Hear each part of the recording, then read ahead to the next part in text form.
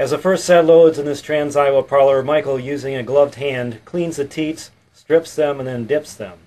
Notice the kick rail position, the cow visibility, and how close Michael is to the cows, allowing him to stand straight up. Since this is the first set, the units are still in the manifolds. Proper udder preparation is important for milk letdown and also milk quality. In a bit, we're going to visit up on top the cow platform. The cows, as you see, stand very comfortably with plenty of headspace for uh, ventilation and not pushing forward on the brisket rail, but instead pushing back on the rump rail. The eight cows have no stall work between them. The pin bones do not contact the splash guard, which is a very important point. So the only stress point on the cow is the rump rail, which is the bottom rail of the splash guard. Again, the cow is standing very comfortably with the chop gate visible. Notice the cows do not touch pin bones on the back there.